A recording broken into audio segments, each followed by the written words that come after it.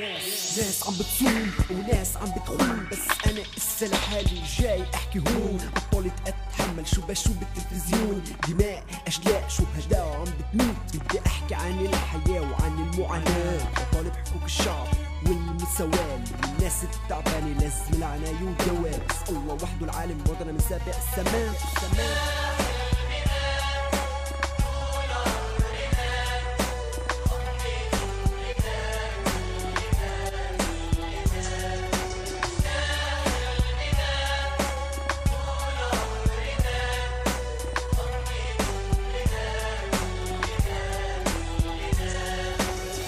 أطفالك يا شهدائك يا فلسطين بالسما فوق فوق.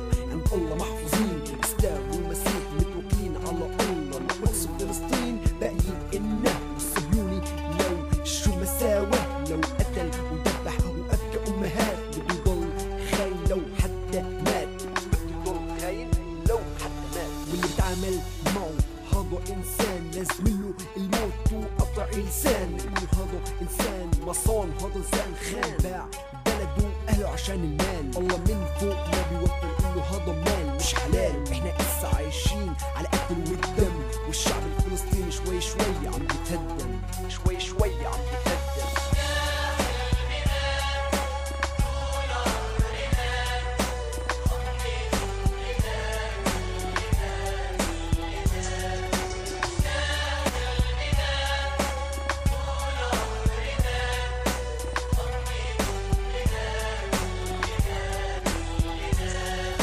كتبت هالغناية لأنها طلعت من قلب مناي لكل شهيد استشهد بفلسطين لكل أم شهيد بكت ليالي وسنين لكل إنسان اتعذب بضفه وجنين. لكل طفل ما إله أهل يعطوه الحنان فلسطين احتلوها بالقوة والسلاح ما خلت إشي للمدن وللفلاح ومن إسا بنسمع أصوات القتل والصياح كل يوم بفوت شهيد جديد بقلب تابوت كل يوم في ضحية وألف شخص عم يموت. من الخوف الزعماء على فلسطين ما بدها تفوت أطفال مش ملاقي بيت ولا منجا والأمهات من العذاب عينها بتدمع والناس خافت تشوف بس بتسمع فلسطين والقدس وغزة إلنا.